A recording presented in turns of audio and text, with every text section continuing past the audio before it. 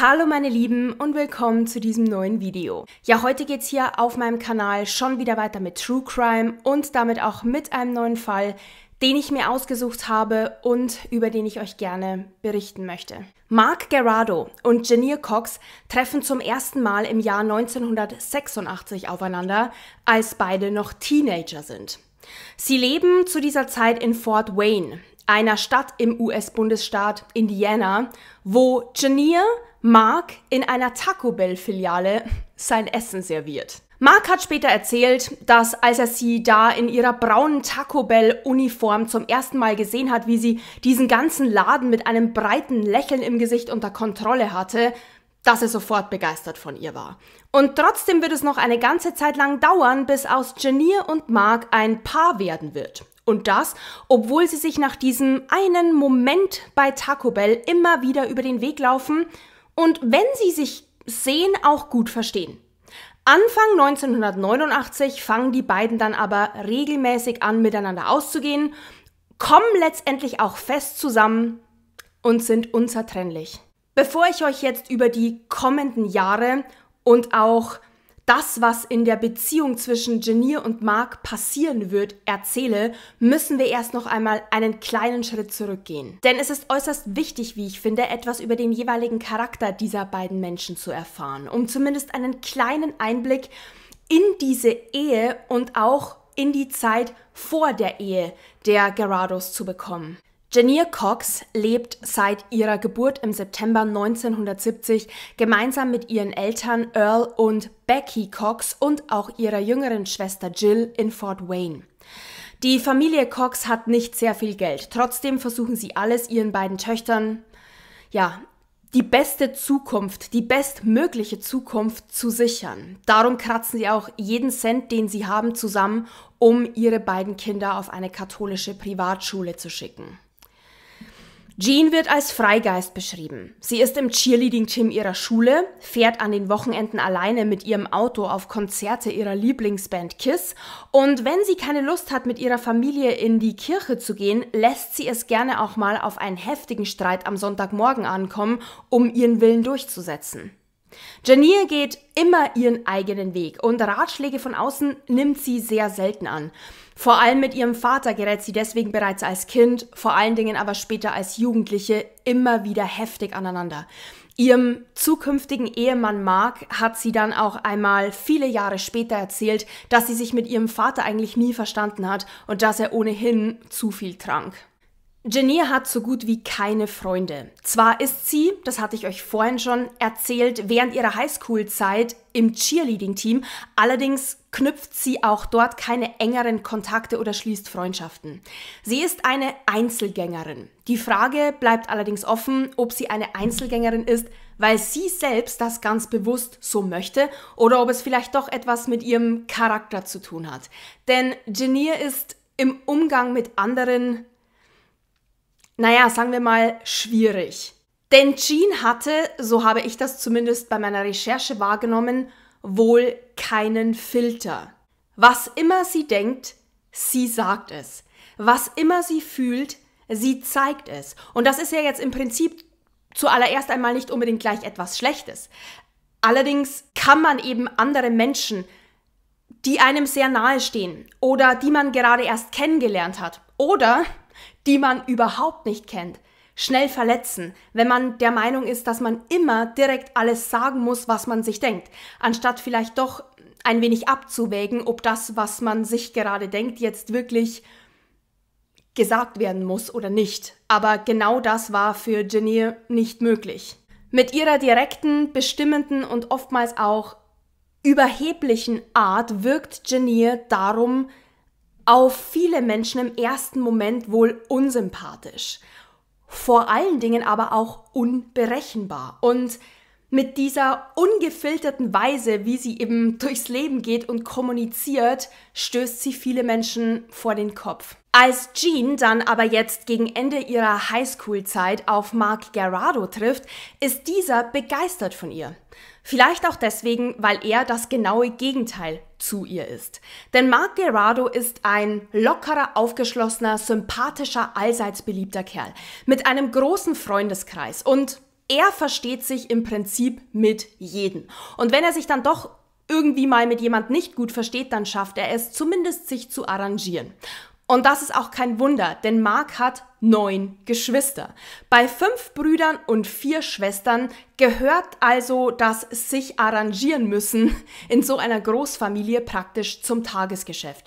Und Mark muss sich auch an Regeln halten. Sein Vater ist im Gegensatz zu seiner Mutter äußerst streng und dominant und versucht die Familie zusammenzuhalten. Einfach mal machen, wonach einem gerade der Sinn steht, ist für Mark nicht möglich. Und jetzt trifft er auf diesen Freigeist Genier und ist begeistert und beeindruckt von der Art und Weise, wie sie kommuniziert und wie sie eben auch durchs Leben geht. Ganz im Gegensatz zu Marks Freundeskreis. Niemand kann Genier wirklich leiden. Denn auch als Marks Freunde sie kennenlernen, nachdem die beiden dann 1989 ein Paar werden, macht sie mit ihrer direkten oder wie es Marks bester Freund Mike später ausgedrückt hat, taktlosen Art und Weise einfach keinen guten Eindruck. Außerdem fiel Marks Freundeskreis dann auch in der folgenden Zeit immer mehr auf, wie besitzergreifend und vereinnahmend Genier ist. Vieles, was Mark vorher gemeinsam mit seinen Freunden gemacht hat, tat er auf einmal nicht mehr. Genier hatte darauf einfach keine Lust. Es dauert also nicht sehr lange und Mark lässt sich immer weniger bei seinen Freunden blicken. Eines Tages nimmt ihn sein bester Freund Mike zur Seite und sagt ihm ganz klar seine Meinung, dass er findet, dass Genier nicht die richtige für ihn ist. Und er warnt ihn davor, mit ihr einen Schritt weiter zu gehen, zum Beispiel mit ihr zusammenzuziehen oder ihr einen Heiratsantrag zu machen. Er bittet Mark noch einmal gut darüber nachzudenken. Nach diesem Gespräch ist Mark allerdings sehr wütend. Er liebt Janier, er möchte mit ihr zusammen sein und plant eine gemeinsame Zukunft mit dieser Frau. Und das sagt er seinen Freunden auch ganz klar. Nachdem Mark dann im Jahr 1993 seinen Abschluss in Grafikdesign an der St. Francis University in Indiana abgeschlossen und einen gut bezahlten Job als Immobilienentwickler in einer großen Werbeagentur bekommt, hält er wenige Wochen später um Geniers Hand an. Im Oktober 1993 dann, Mark ist 25, Genier 23 Jahre alt, da heiraten die beiden und ziehen nach der Hochzeit gemeinsam in ein großes Haus in Fort Wayne. Das Ehepaar Gerardo führt jetzt in den folgenden Jahren, so scheint es, ein gutes und normales Leben. Mark hatte bereits seit seinen Kindertagen eine tiefe Liebe zu Hunden entwickelt. Vor allen Dingen die Rasse Golden Retriever hatten es ihm besonders angetan. Es gibt kaum ein Bild von Mark, wo er nicht irgendwie mit einem seiner Hunde zu sehen ist. Und auch Genier hat er dann mit der Liebe und Leidenschaft zu diesen Tieren angesteckt. Beide sind gerne mit ihren Hunden draußen unterwegs. Ohnehin, auch wenn sie vom Charakter her doch sehr unterschiedlich waren, es gab auch Gemeinsamkeiten, die sie hatten, wie zum Beispiel die Liebe zur Natur, Reisen, Sport oder einfach gemeinsam draußen unterwegs zu sein. Immer zusammen mit ihren Hunden. Doch auch jetzt in den Jahren nach ihrer Hochzeit gibt es meist eben nur die beiden. Auch hier wieder, ein Freundeskreis ist nicht auszumachen. Und wenn sie dann doch mal irgendwo hingingen, dann waren es eben meist nur die beiden.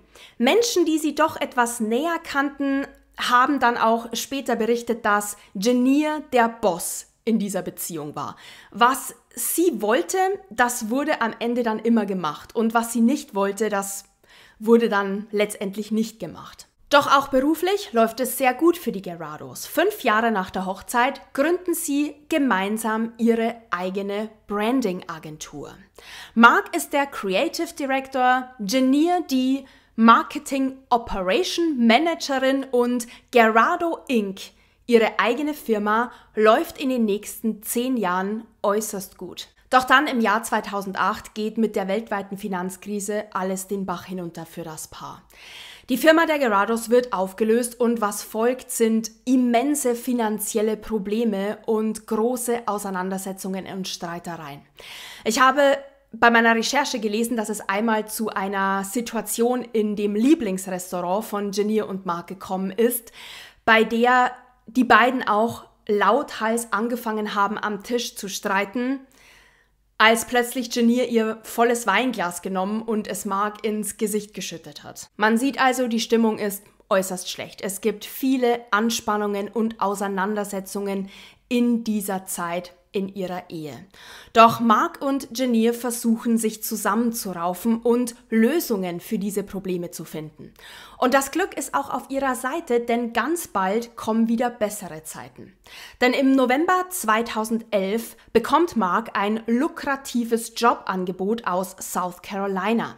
Als künstlerischer Leiter soll er in einer bekannten Agentur in Greenville arbeiten. Und auch Janir bekommt einen Job bei Instrumentation Technologies. Mit ihrer jahrelangen Erfahrung als Marketingmanagerin freut auch sie sich auf diese neue Herausforderung und die beiden beschließen, einen Neuanfang zu wagen. Einfach zusammenzupacken und nach South Carolina umzuziehen. Mark hat später auch genau diese Zeit in South Carolina als die glücklichste Zeit in ihrer gesamten Ehe beschrieben. Es sollte ein Neuanfang nicht nur in beruflicher Hinsicht für ihn und Janir sein, sondern vor allen Dingen auch ein Neubeginn für sie als Paar. Und wenn man sich die Bilder anschaut, die in der Zeit in Greenville zwischen dem Jahr 2011 und dem Jahr 2016 von Mark und Janir gemacht worden sind, dann sieht man sie lächelnd, glücklich und man hat das Gefühl, dass sie trotz der Schwierigkeiten seit dem Verlust ihrer eigenen Firma, dem Umzug nach South Carolina, der neuen Arbeit und ihren vielen Auseinandersetzungen in der Vergangenheit jetzt beide trotzdem auf einen großartigen Neustart und eine gemeinsame Zukunft hoffen. Fünf Jahre vergehen, bevor Janir Gerardo dann Ende 2016 ihre Arbeit verliert. Ein harter Schlag für sie, denn Janir liebt ihre Arbeit und gerade dieser Job, den sie ja jetzt doch fünf Jahre in South Carolina gemacht hat, ist ihr besonders ans Herz gewachsen. Ohnehin ist sie ein Workaholic und deswegen ist das für sie schon sehr hart, dass sie jetzt genau diesen Posten eben verliert. Ich habe bei meiner Recherche in vielen Quellen gelesen, dass sie ihren Job deswegen verloren hat, weil ein Teil dieser Firma, nämlich der Teil, wo auch Janir gearbeitet hat, aufgelöst worden ist und dass sie nicht die einzige war, die ihren Job verloren hat, sondern auch andere Mitarbeiter dieser Firma entlassen wurden. Ich habe aber in einer anderen Quelle, dazu möchte ich sagen, dass es nur eine einzige war, gelesen, dass Janir ihren Job verloren hat, weil sich immer mehr Mitarbeiter über ihre Art und Weise beschwert haben, wie sie einfach in der Arbeit mit ihren Kollegen umgegangen ist. Vor allen Dingen, wie sie mit den Mitarbeitern umging, die ihr direkt unterstellt waren. Was da jetzt am Ende gestimmt hat, das ist für mich bei meiner Recherche nicht klar geworden. Ich möchte aber ähm, ganz klar sagen, dass es mehr Quellen gab, die ausgesagt haben, dass es um die Teilauflösung der Firma ging. Tatsache ist aber auch, dass Janir nach dem Verlust ihrer Arbeit große Schwierigkeiten hat, etwas Neues zu finden. Sie ist zu diesem Zeitpunkt 46 Jahre alt und in diesem Alter, vor allen Dingen in dieser Branche, ist es sehr schwierig, etwas Neues zu finden, vor allen Dingen, wenn man so hohe Qualifikationen hat wie Janir.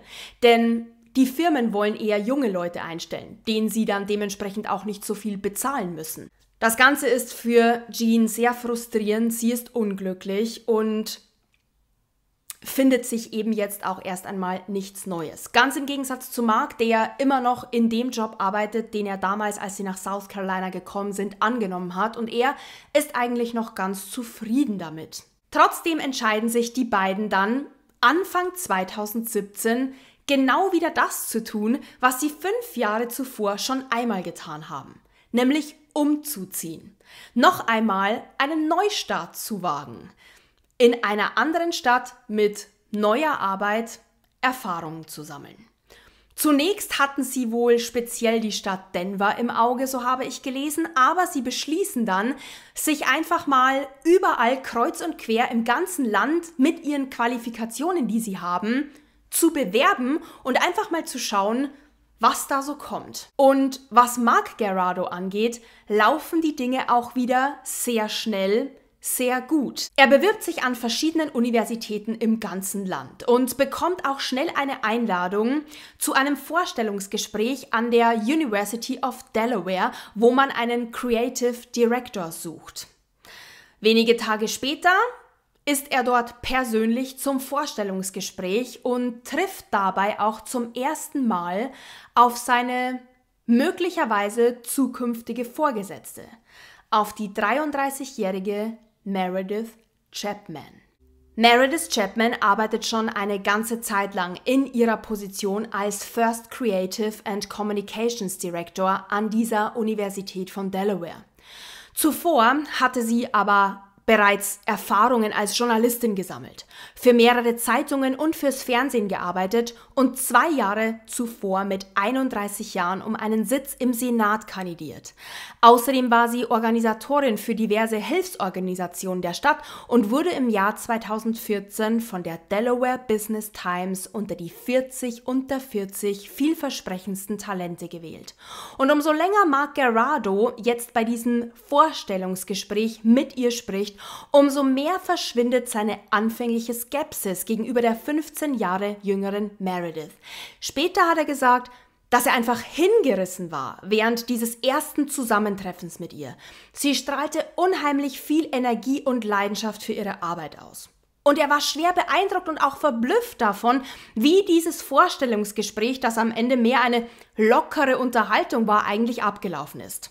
Dass am Ende auch damit geendet hat, dass Mark, wenn er sich dafür entscheiden wollte, den Job auch bekommen könnte. Nach seiner Rückkehr nach South Carolina berichtet Mark jetzt seiner Frau Janier über das Vorstellungsgespräch, seinen ersten Eindruck und er möchte den Job auch gerne annehmen. Und auch Janier ist dafür, denn die Bezahlung ist äußerst gut und gegen Delaware spricht von ihrer Seite aus auch überhaupt nichts. In den nächsten Tagen suchen die beiden sich ein Haus in Wilmington, also ganz in der Nähe der Universität in Delaware, wo Mark in zwei Wochen seinen neuen Job antreten soll. Doch da gibt es ein Problem. Das Haus, in dem die Gerados in South Carolina in den letzten sechs Jahren gewohnt haben, muss verkauft werden. Und darüber hinaus gibt es auch noch das eine oder andere organisatorische, was sich nicht von heute auf morgen so nebenbei erledigen lässt. Mark allerdings soll ja seinen neuen Job jetzt schon in knapp 14 Tagen antreten. Deswegen beschließen die beiden sich sozusagen aufzusplitten. Mark soll schon einmal voraus umziehen. Janier verkauft das Haus in South Carolina, organisiert noch das eine oder andere und regelt finanzielle Dinge und würde dann in innerhalb von vier Wochen hinterherziehen. Es ist also alles in trockenen Tüchern und die Garados freuen sich auf ihren Umzug nach Delaware. Doch nur vier Tage bevor Mark voraus umziehen möchte, um dann seinen neuen Job zu beginnen, bekommt er einen Anruf aus Colorado. Am Telefon ist eine Firma, bei der sich Mark viele Wochen zuvor ebenfalls beworben hat. Ja, sein Gesprächspartner sagt, dass sie ihn unbedingt kennenlernen wollen, weil sie sehr begeistert gewesen sind von seinen Bewerbungsunterlagen. Mark ist so ein bisschen hin und her gerissen, denn eigentlich steht ja der Umzug nach Delaware schon fest. Sie haben ja auch schon ein Haus gemietet und mehr oder weniger sind die Umzugskisten schon gepackt. Doch er bespricht sich mit Janier und auch sie rät ihm dazu, dieses Bewerbungsgespräch in Colorado auf jeden Fall zu führen. Denn es hat sich bei dem Telefonat schon so ein wenig heraus gestellt, dass diese Firma in Colorado um einiges mehr zu bieten hätte und dass der Job auch um einiges besser bezahlt wäre als der in Delaware. Deswegen entscheidet sich Mark dafür, zwei Tage später zunächst nach Colorado zu fliegen, um sich zumindest anzuhören, was bei diesem Bewerbungsgespräch für ihn herausspringen könnte. Was jetzt als nächstes kommt, fand ich ganz persönlich für diesen Fall sehr wichtig. Denn als Mark am Flughafen ist und eigentlich darauf wartet, dass sein Flieger landet, der ihn nach Colorado bringen soll, entscheidet er sich am Flughafen dafür, doch nicht dorthin zu fliegen. Und der Grund, warum er sich entscheidet, dort nicht hinfliegen zu wollen, ist Meredith Chapman. Diese Frau kommt ihm also jetzt am Flughafen wieder in den Sinn.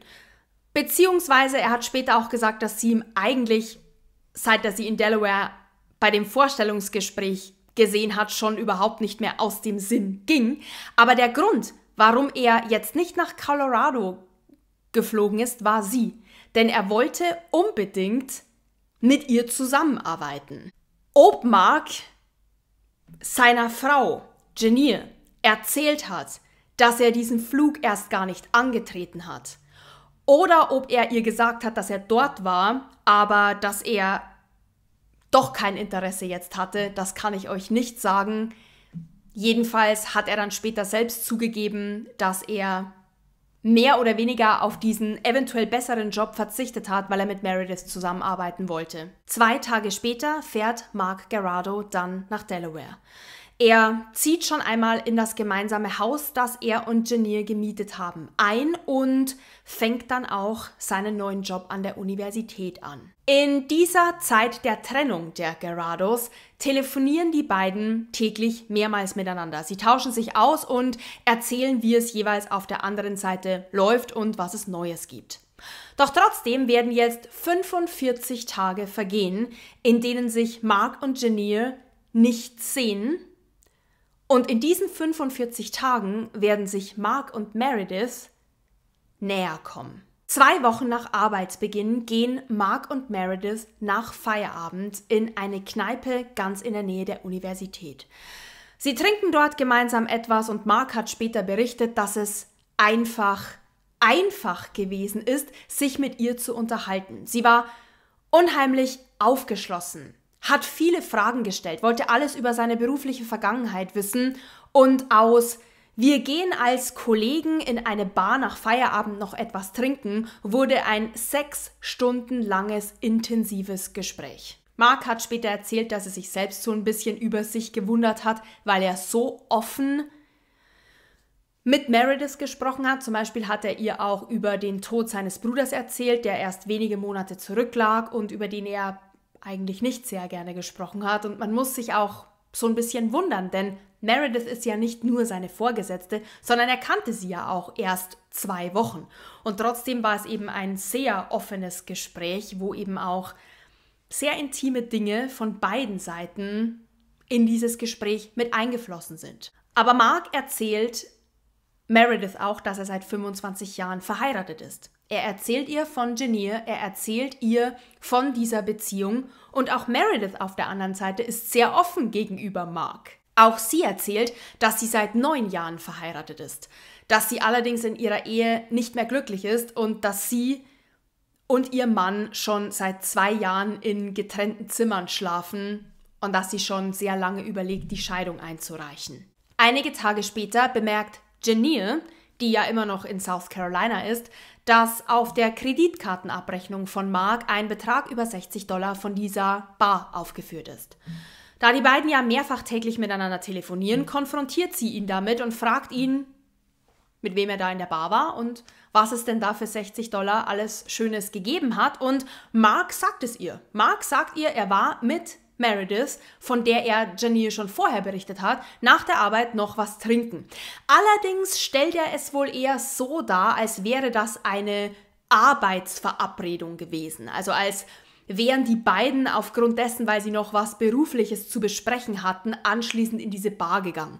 Doch Janine glaubt ihm das nicht, denn wenn es jetzt ein Arbeitsessen oder ähnliches gewesen wäre, warum hat er dann das mit seiner Kreditkarte bezahlt? Also Janine ähm, ja, hört die Glocken läuten und nimmt ihm das nicht so ganz ab und sagt ihm auch, dass ihr das nicht passt. Doch auch wenn Mark jetzt weiß, dass seine Frau nicht begeistert davon ist, dass er mit seiner 16 Jahre jüngeren Vorgesetzten nach der Arbeit hier und da mal irgendwo was trinken geht, fährt Mark damit auch in den nächsten beiden Wochen fort. Er trifft sich immer mal wieder nach der Arbeit mit Meredith, zum Beispiel zum Sport, sie gehen gemeinsam laufen, sie verstehen sich sehr gut und an einem Abend sind sie dann auch miteinander essen und als sie sich voneinander verabschieden, da küssen sie sich. Mark hat erzählt, dass er diesen Kuss sofort bereut hat, weil er wusste, dass es nicht richtig ist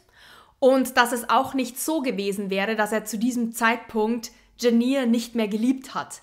Allerdings musste er sich dann wohl auch eingestehen, dass das mit Meredith nicht einfach nur irgendwas ist, was schnell wieder weggeht, sondern dass da doch mehr dahinter steckt. Und Meredith hat ihm auch dasselbe gesagt. Also, dass da auch bei ihr sehr viel mit im Spiel ist und ja, dass es ihr eben doch sehr ernst ist mit dem, was sich da jetzt gerade anzubahnen scheint.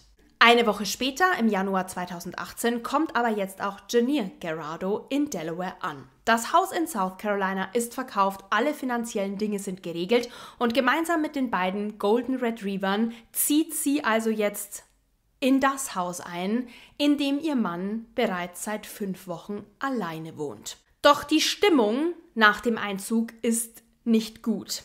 Erstens einmal deswegen, weil es Janir nicht gelungen ist, einen Job zu finden in der neuen Stadt. Aber zweitens und viel entscheidender, weil Mark sich gegenüber ihr sehr abweisend und distanziert verhält und sie merkt sofort, dass irgendetwas nicht stimmt und vermutet, dass er eben eine Affäre hat. Und sie spricht ihn direkt an, ob er eine Affäre hat und vor allen Dingen, ob er sie mit Meredith hat.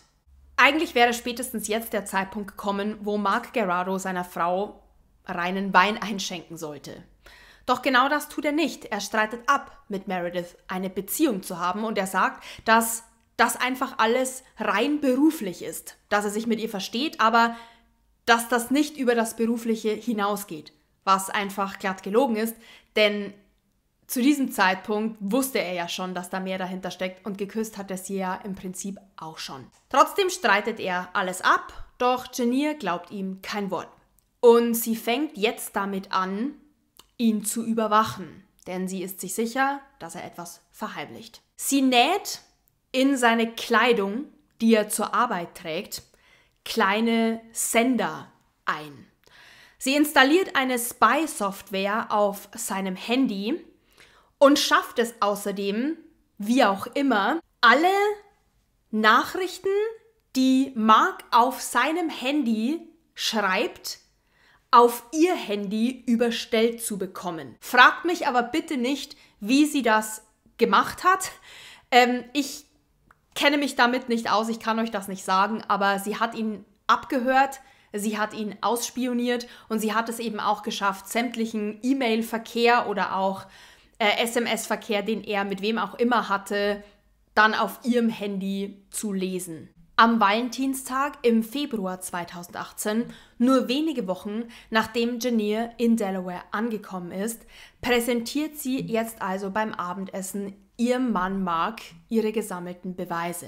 Textnachrichten, E-Mails zwischen ihm und Meredith und auch die abgehörten Telefonate spielt sie ihm vor. Das sind also eindeutige Beweise, dass Mark sie nicht nur belogen hat, sondern dass er sie offenbar wirklich mit Meredith betrügt. Und nach diesen vorgelegten Beweisen gesteht Mark. Er gibt zu, dass er sehr viel mehr für Meredith empfindet, als er zunächst gedacht hat, weswegen er auch gezögert hat, ihr etwas zu sagen. Was Janine jetzt aber ganz besonders hart trifft, ist nicht nur, dass ihr Mann sie belogen und auch betrogen hat, sondern dass für Mark da offensichtlich viel mehr dahinter steckt. Er hat später auch erzählt, dass er den Eindruck hatte, dass Janine dachte, es geht um etwas Sexuelles um eine flüchtige kurze Affäre, um eine kleine Midlife-Crisis. Doch Mark sagt ihr auch, nachdem sie ihn mit diesen Beweisen konfrontiert, dass es mehr ist. Und er sagt ihr auch, dass es von der anderen Seite, also von Merediths Seite, genau das gleiche ist. Nach diesem Geständnis haben die beiden wohl ein sehr langes, intensives Gespräch miteinander geführt und beschlossen, in der darauf folgenden Woche eine Beratungsstelle aufzusuchen. Ich konnte bei meiner Recherche leider abschließend nicht definieren, ob es sich bei dieser Beratungsstelle um eine Eheberatung oder um eine Beratung für Paare, die sich vielleicht trennen wollen, gehandelt hat. Es gibt wohl beides, wo man sich da hinwenden kann, aber Was die Gerados dann da jetzt im Endeffekt wo den Termin vereinbart haben, das weiß ich nicht. Sie haben auf jeden Fall beschlossen, einer dritten Person über ihre aktuelle Lage zu erzählen und einfach auszuloten, wie die Möglichkeiten sind, was man tun kann, was im Falle einer Trennung passiert und und und. Also das war wohl der, der Sinn und Zweck dieses Termins. Doch zu diesem Termin kommt es ohnehin nicht. Denn in der darauf folgenden Woche macht sich Mark Gerardo gerade im Badezimmer fertig, um mit seiner Frau zu diesem Termin zu fahren, als er feststellt, dass in der Innenseite seines Sakkos eine Art Sender eingenäht ist. Denier hatte eine Woche zuvor versprochen, ihn nicht mehr zu überwachen oder ihn auszuspionieren.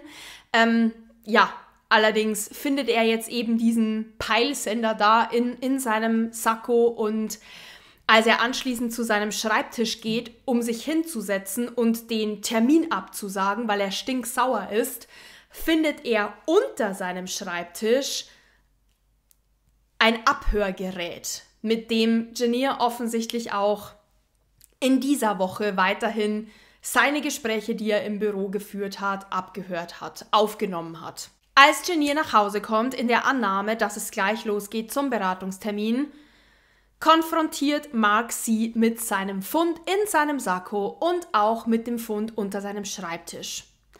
Er ist stinksauer auf sie und die beiden streiten miteinander. Und dann eröffnet Genier ihm, dass sie heute am Vormittag an seinem Arbeitsplatz in der Universität angerufen hat und dort erzählt hat, dass er mit seiner Vorgesetzten Meredith Chapman eine Affäre hat. Damit nicht genug, gesteht Janier dann auch noch, dass sie nicht nur bei Mark und Merediths Arbeit angerufen hat, sondern auch bei Merediths Ehemann Luke Chapman. Auch ihm hat sie von der Affäre seiner Frau mit ihrem Mann erzählt. Ja, jetzt eskaliert die ganze Situation im Hause Gerardo, denn Mark hat später erzählt, dass er vor Wut den Kaffeetisch, der vor ihm stand, im Wohnzimmer der beiden umgeworfen hat. Er ist völlig ausgeflippt, er hat ähm, Janier angeschrien, er hat ihr Dinge an den Kopf geworfen, die er auch nicht hätte sagen sollen, wie er später erklärt hat und die er auch bis heute bereut. Er hat nie gesagt, was er zu ihr gesagt hat, jedenfalls hat das, was er gesagt hat, dazu geführt, dass sie gedroht hat, aus dem Fenster im ersten Stock des Hauses zu springen. Das Ganze ist also völlig außer Kontrolle geraten Trotzdem läuft es jetzt wieder so, wie es schon in der Vergangenheit immer mal wieder bei den Gerados gelaufen ist. Sie reden wieder miteinander und sie schaffen es trotzdem irgendwie, sich zusammenzuraufen in dieser Nacht. Und am nächsten Morgen fahren sie gemeinsam zu dieser Beratungsstelle, wo sie eigentlich schon am Tag zuvor hinfahren wollten. Außerdem macht Mark einen Termin für Genier bei einem Psychologen aus, wohin er sie dann auch begleitet. Und in den folgenden Wochen geht Genier auch immer wieder zu diesem Psychologen. Denn die Tatsache, dass sie gedroht hat, aus dem Fenster zu springen und dass das hier jetzt alles gerade eskaliert und Mark das Gefühl hat, dass er die Lage nicht mehr im Griff hat, ähm, hat ihm Angst gemacht und dementsprechend hat er diesen Beratungstermin mit ihr wahrgenommen und auch dafür gesorgt, dass sie sich eben psychologische Hilfe sucht. Denn für ihn steht fest, er möchte diese Ehe nicht mehr weiterführen. Er will sich von Genier trennen und mit Meredith zusammen sein. Trotzdem bleibt er weiterhin erst einmal noch im gemeinsamen Haus wohnen und in den nächsten Wochen entspannt sich die Situation zwischen Mark und Genier immer mehr. Meredith auf der anderen Seite hat natürlich ganz bald von dem Anruf von Janier in der Universität erfahren. Und natürlich hat sie von ihrem Ehemann Luke auch gehört, dass er ebenfalls einen Anruf von Marks Frau bekommen hat, die ihn dann über die Affäre informiert hat. Merediths Ehe war allerdings, das hatte ich euch vorher schon gesagt, sowieso schon längere Zeit am Ende. Die beiden hatten seit über zwei Jahren nicht mehr im selben Raum zusammengeschlafen. Deswegen reicht sie jetzt auch endgültig die Scheidung ein. Doch eine Sache wird sowohl Meredith als auch Mark sehr schnell klar, nämlich dass sie unter den Umständen nicht mehr an ihrem Arbeitsplatz in der Universität zusammenarbeiten können. Es weiß jetzt jeder Bescheid und es wird natürlich getuschelt ohne Ende. Für Mark und Meredith ist aber trotz dieser ganzen Probleme außen herum nach wie vor klar, dass sie zusammen sein wollen dass sie zusammen weggehen wollen und woanders gemeinsam richtig durchstarten möchten. Meredith hat einer guten Freundin in dieser Zeit berichtet, dass sie weiß, dass es wahrscheinlich nicht sehr leicht werden wird, bis am Ende die beiden wirklich in Ruhe zusammen sein können, aber dass sie weiß, dass Mark der Richtige ist und dass sie sich nichts sehnlicher wünscht, als für den Rest seines Lebens mit ihm zusammen zu sein. Kurz nachdem Mark und Meredith ihre Jobs in der Universität gekündigt haben, tut sich zumindest auf der Seite von Meredith etwas Neues auf. Sie bekommt ein Jobangebot für einen Posten als Assistant Vice President an der Villanova University im 80 Kilometer entfernten Redner Township, den sie auch annimmt. Sie mietet sich ein Haus in einem sehr noblen Viertel dieser Kleinstadt und zieht zunächst einmal alleine dort ein.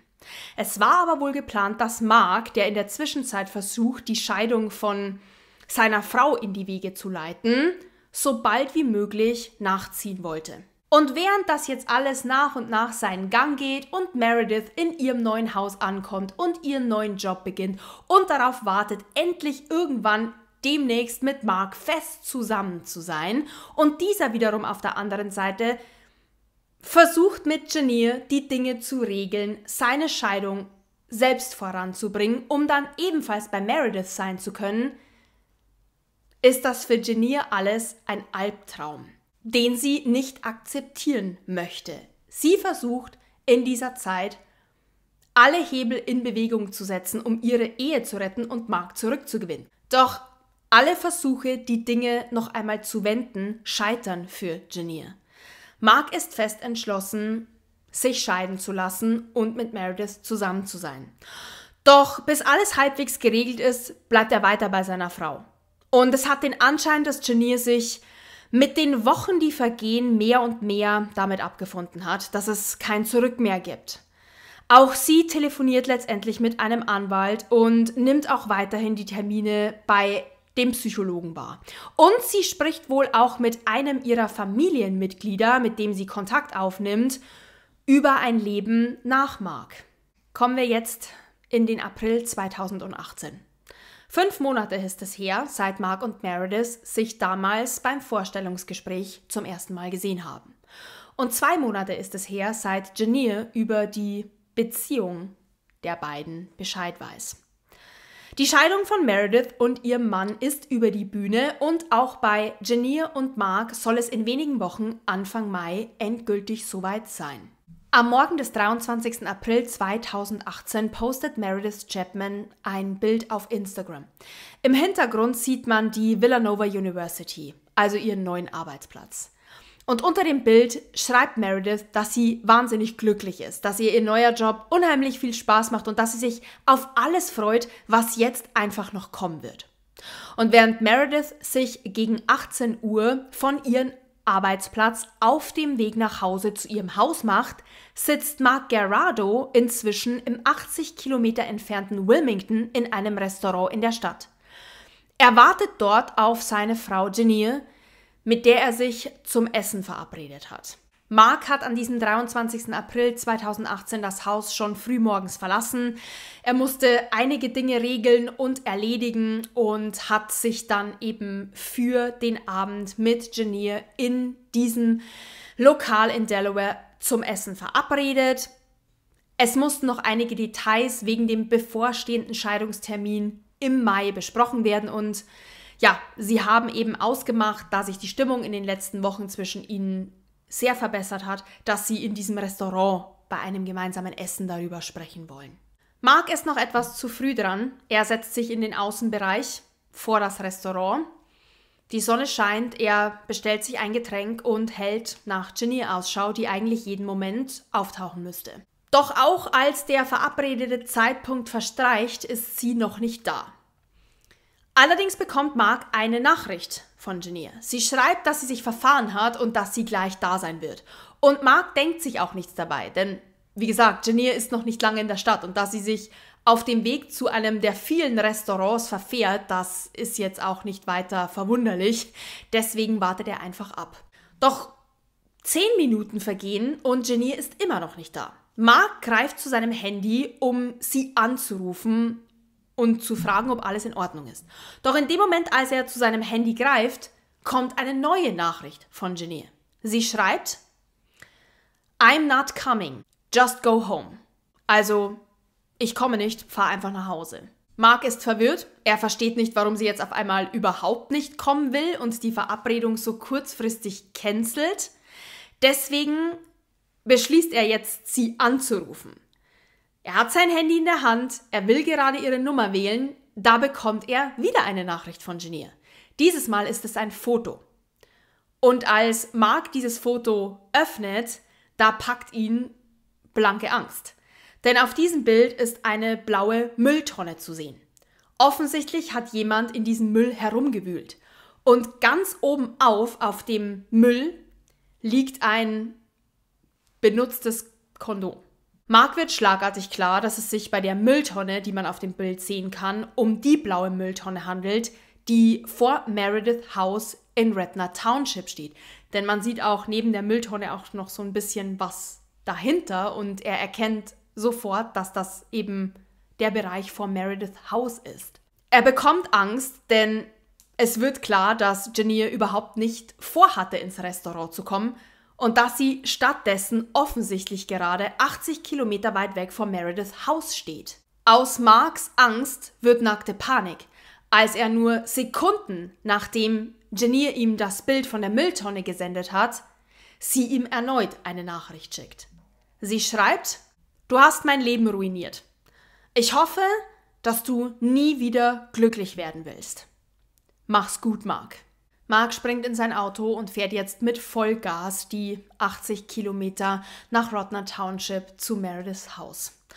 Auf dem Weg ruft er mehrfach seine Frau Janir und auch Meredith immer wieder an, doch er kann beide nicht erreichen, beide gehen nicht ans Telefon. Er schreibt mehrere Nachrichten, sowohl an Janir als auch an Meredith, doch auch da er bekommt keine Antwort. Als Mark am Haus von Meredith ankommt, dämmert es bereits. Er stellt seinen Wagen in die Einfahrt und läuft zur Haustür. Neben der Haustür ist das große Fenster, wo man direkt in die Küche sieht und bevor er die Tür aufsperrt, schaut er noch durch das Küchenfenster hinein und sieht da bereits, dass Meredith mit dem Gesicht nach unten auf dem Küchenboden liegt. Er stürmt ins Haus, in die Küche und sieht dann, dass sie leblos in einer großen Blutlache liegt. Mark stürzt jetzt sofort ans Telefon, um die Polizei und den Notarzt anzurufen. Und als er das Telefon wieder einhängt und sich umdreht, fällt sein Blick in den langen Gang des Hauses, wo er dann eine weitere Person auf dem Boden liegen sieht. Als er näher kommt, stellt er fest, dass es sich dabei um seine Frau Jenny handelt. Der Notarzt, der wenige Minuten später eintrifft, kann nur noch den Tod beider Frauen feststellen. Und im Anschluss wird jetzt das Haus und auch das komplette Grundstück von der Polizei abgesperrt. Ja, schnell kann die Spurensicherung herausfinden, dass in das Haus von Meredith Chapman eingebrochen worden ist und zwar durch ein Fenster auf der Vorderseite. Dieses ist eingeschlagen und offensichtlich hat derjenige, der eingebrochen ist, durch das eingeschlagene Fenster nach innen gegriffen, den Hebel des Fensters nach oben gestellt, somit das Fenster aufgedrückt und ist dann ins Haus hineingekommen. Da Mark derjenige war, der die beiden Frauen im Haus gefunden hat und da auch derjenige war, der die Polizei und den Notarzt angerufen hat und darüber hinaus die Polizei jetzt herausfindet, dass eine der beiden toten Frauen seine Frau und die andere seine Affäre gewesen ist, ist er zunächst der Hauptverdächtige. Doch die Arbeit der Forensiker, der Spurensicherung und auch der Tatortanalysten geht in den folgenden Stunden die ganze Nacht hindurch bis auch in den nächsten Morgen hinein weiter. Und anhand dieser Ermittlungen kann man ganz schnell feststellen, dass Mark nichts mit dem zu tun hat, was in diesem Haus passiert ist. Sehr wohl aber lässt sich schnell rekonstruieren, auch dank der Arbeit der Polizei am nächsten Tag und auch in den folgenden Tagen, was sich da tatsächlich abgespielt hat. Unter dem Körper von Genier Gerardo finden die Ermittler einen Revolver. Diesen Revolver hat Genier sich zwei Wochen zuvor in einem Waffengeschäft gekauft. Auf dieser Waffe befinden sich ihre Fingerabdrücke und mit dieser Waffe wurde Meredith Chapman erschossen. Die Ermittlungen ergeben weiterhin, dass Genier bereits zwei Wochen zuvor in das Büro einer Autovermietung in Wilmington kam, um sich dort ein Auto für längere Zeit auszuleihen. Mit diesem Auto ist sie dann 80 Kilometer zu Meredith Haus gefahren. Und zwar offenbar mehrfach. Deiner Nachbar von Meredith, der von der Polizei befragt wird, sagt aus, dass er in den Tagen vor dem Mord an ihr immer mal wieder eine Frau gesehen hat, von der er das Gefühl hatte, dass sie nicht hierher gehört und dass sie das Haus von Meredith beobachtet. Einmal hat er gesagt, hätte er diese Frau auch mitten im Garten von Meredith stehen sehen und sie hätte ein Fernglas um den Hals gehängt gehabt. Er hat dann wohl auch diese Frau angesprochen von etwas weiter weg und sie gefragt, was sie hier macht und ob sie irgendjemanden sucht, doch die Frau hätte dann nur irgendetwas gemurmelt und wäre schnell davongegangen. Man kann davon ausgehen, dass es sich bei dieser Frau, die der Nachbar in den Tagen vor dem Mord gesehen hat, um Janir Gerardo gehandelt hat. Allerdings konnte sie der Nachbar nicht einwandfrei identifizieren, was daran lag, dass diese Frau laut seiner Aussage einen langen schwarzen Mantel sowie eine Sonnenbrille und auch einen Hut getragen hat. Deswegen ist sie ihm auch aufgefallen, aber er konnte sie dann eben nicht identifizieren. Man kann aber davon ausgehen, dass es Janir Gerardo gewesen ist, die eben diese Tat geplant und Meredith dementsprechend vorher ausspioniert hat. Herausfinden wollte, wann sie zu Hause ist, wann sie nicht zu Hause ist, wann sie morgens zur Arbeit feiert, wann sie abends wieder nach Hause kommt und so weiter. Was die Polizei jetzt in den folgenden Tagen noch herausfindet, ist, dass Janir offenbar nie damit aufgehört hat, Mark auszuspionieren. Man findet im Haus weitere Abhörgeräte, auch in seiner Kleidung findet man überall diese kleinen Sender, die er ja selber schon entdeckt hat, als er eben sein Sakko angezogen hat. Doch sie hat sie im Prinzip in all seine Jacken irgendwie eingenäht. Außerdem findet man auch im Haus der Gerados eine Kiste, wo insgesamt 15 Notizbücher von Janir drin liegen, die alle von hinten bis vorne vollgeschrieben sind. Und als sich die Ermittler diese Notizbücher anschauen, stellen sie fest, dass das, was Janier dort aufgeschrieben hat in diesen 15 Notizbüchern, alle Gespräche sind, die Meredith mit Mark geführt hat, die von Janier abgehört worden sind. Also sie hat alles niedergeschrieben in diesen Heften. Sie hat also diese ganzen Hefte sozusagen voll protokolliert mit den Gesprächen, die sie zwischen Mark und Meredith abgehört hat, seit sie von dieser Affäre erfahren hat. Außerdem findet die Polizei dann auch sowohl an Meredith als auch an Marks Auto einen Peilsender. Man kann dann wohl auch rekonstruieren, dass Janine diese Peilsender erworben hat und dass sie sich auch genau darüber informiert hat, wie man diese anbringt und wie man auch diese Ergebnisse, die diese Peilsender liefern, auswertet. Der Wagen von Genier wird von der Polizei zwei Querstraßen von Meredith House entfernt in einer Seitenstraße gefunden. Im Auto findet man ein Fernglas, Munition für den Revolver, Gummihandschuhe und eine Perücke.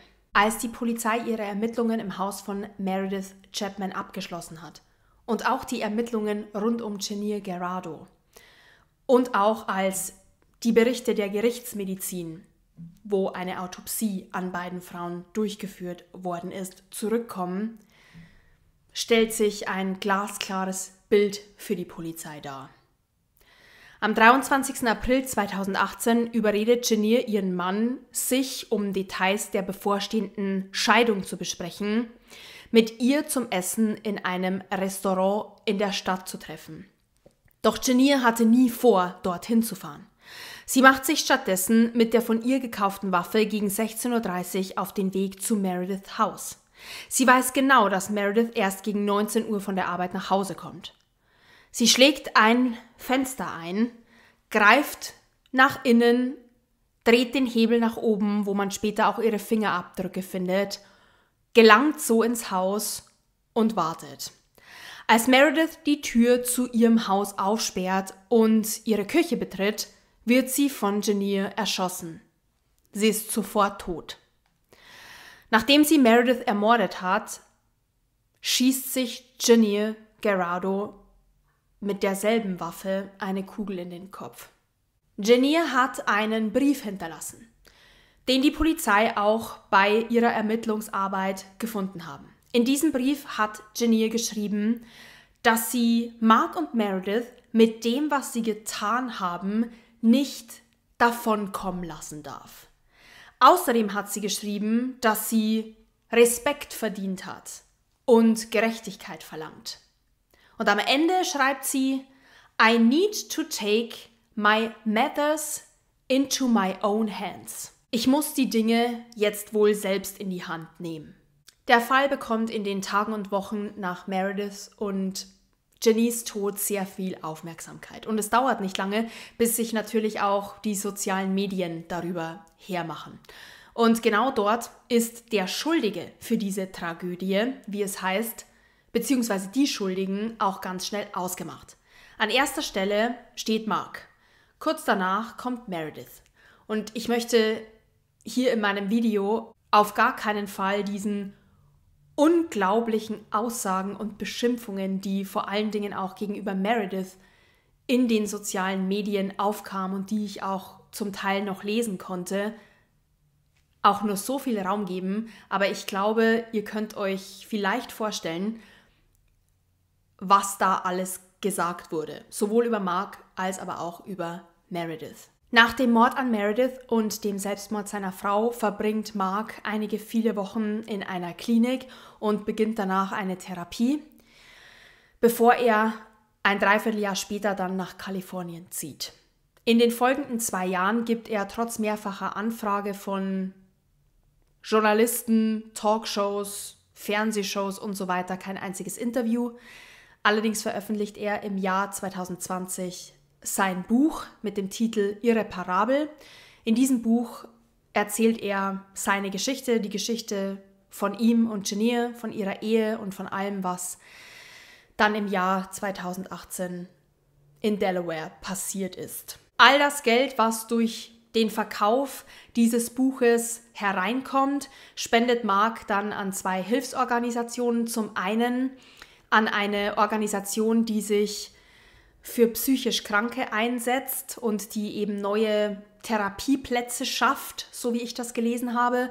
Und die andere Hälfte spendet er an die Golden Retriever Rescue Organization. Das musste ich jetzt nur noch mal nachlesen. Also das ist quasi eine Organisation, die sich irgendwie ja um Golden Retriever oder um Hunde allgemein kümmert. Meredith Chapman war eine intelligente, lebensfrohe, wundervolle junge Frau die wahrscheinlich, so wurde es ihr ja auch prophezeit, eine glorreiche Zukunft vor sich hatte, auf die sie sich, wie sie ja auch in ihrem letzten Post dann geschrieben hat, wahnsinnig gefreut hat.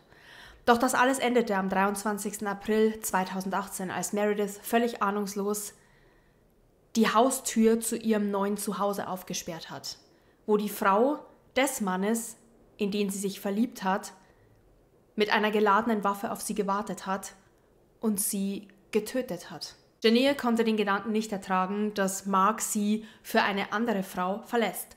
Und eine Psychologin, die sich mit diesem gesamten Fall später auch nochmal eingehend beschäftigt hat, hat in einem Interview gesagt, dass für sie es ganz klar ersichtlich ist, dass Janine diese Entscheidung, Meredith und anschließend dann sich selbst umzubringen, ganz bewusst getroffen hat.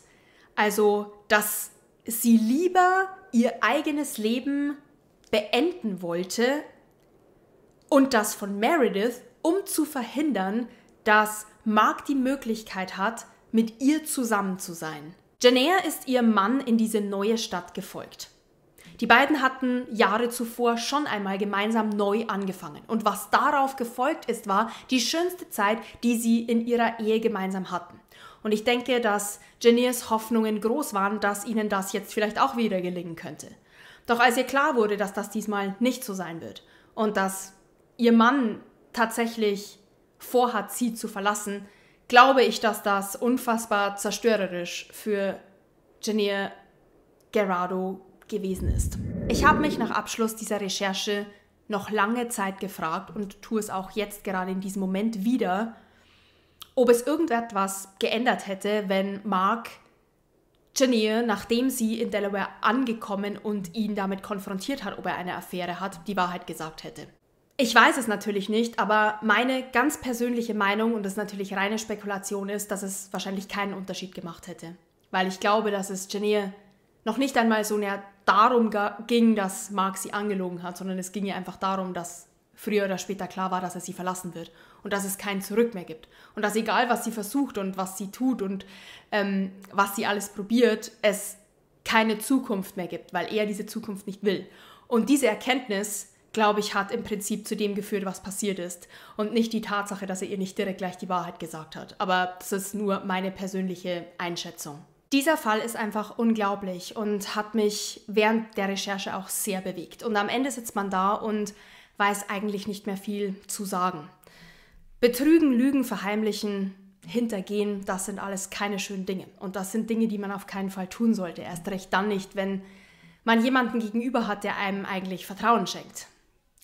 Allerdings rechtfertigt das natürlich nicht diese Tat. Es hat mich nicht schockiert, denn ich beschäftige mich dafür einfach schon zu lange mit True Crime, dass mich sowas noch schockieren könnte. Aber ich fand es wieder sehr interessant und erhellend, auch bei diesem Fall Kommentare zu lesen unter Videos, unter Podcasts, unter Zeitungsartikeln, in Foren, wo die Leute sich einfach ausgetauscht haben, wo sie über diesen Fall gesprochen haben. Manchmal auch aufgrund einer Schlagzeile wie Ehedrama endet blutig im Haus der Geliebten oder sowas. Ähm, und sich dann die Leute einfach mal kurz eben die drei Zeilen durchgelesen haben und dann ihren Senf dazu gegeben haben. Meredith Chapman ist tot. Ähm, sie hat Eltern, sie hat Geschwister, sie hat Freunde, die sie vermissen und dann schreiben Leute, dass es diese Schlampe doch verdient hat zu sterben. Und dass Janea eigentlich nicht sich selbst, sondern lieber noch Mark mit hätte erschießen sollen. Dann wäre das Ganze so richtig toll gelaufen. Das liest man wirklich, oder habe ich zumindest, so oft gelesen, und auch in abgespeckterer Form. Also, ne, aber es war schon wirklich teilweise sehr heftig, was ich da wieder alles, ähm, ja, gelesen habe bei dieser Recherche. Auf der anderen Seite habe ich dann wieder an Jenea gedacht, dass sie sich ja auch selbst erschossen hat. Und dann habe ich weiter überlegt und mir wurde klar, wie unfassbar schrecklich es für diese Frau gewesen sein muss, jetzt damit leben zu müssen oder die Aussicht zu haben, damit leben zu müssen, dass ihr Mann sie wegen dieser Frau verlässt. Und dass es für sie so unerträglich war, dass sie selbst das nicht erleben wollte, aber auch nicht wollte, dass Mark es erlebt und Meredith deswegen umgebracht hat. Und das war für mich auch wieder so. Sie hat sich auch selbst das Leben genommen.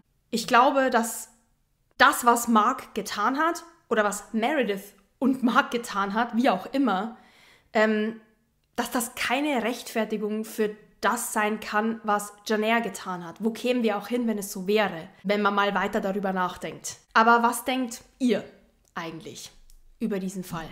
Schreibt mir natürlich wie immer, meine Lieben, gerne Feedback, eure Meinung unten in die Kommentare. Ich bin sehr gespannt, was ihr zu diesem Fall zu sagen habt ja, damit verabschiede ich mich für heute von euch, meine Lieben. Ich wünsche euch noch einen schönen restlichen Tag und hoffe, wir sehen uns ganz bald im nächsten Video dann wieder. Bis dahin, macht's gut.